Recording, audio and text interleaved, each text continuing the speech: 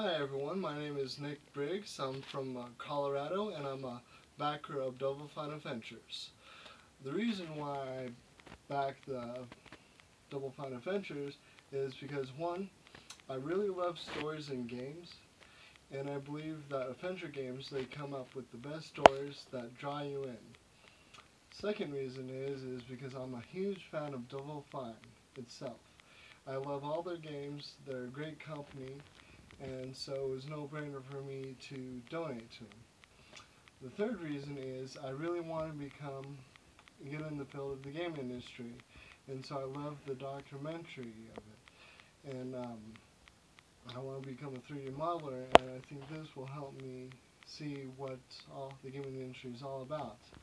And um, that's pretty much it. You guys are awesome, and um, can't wait for the game.